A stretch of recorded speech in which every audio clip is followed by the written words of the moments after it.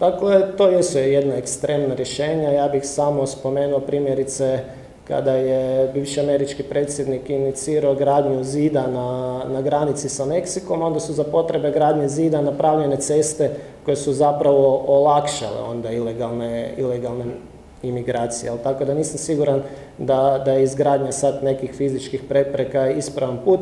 Međutim, činjenica je da bi kao država trebali uvesti red na granici i da bi zapravo se trebali potruditi da migracije budu legalne. Dakle, mi nismo protiv migracija, mi smatramo da mi kao država trebamo imati imat, otvoren e, pristup prema tome da oni ljudi koji ovdje žele doći raditi, živjeti, biti konstruktivni članovi društva mogu to doći na kraju.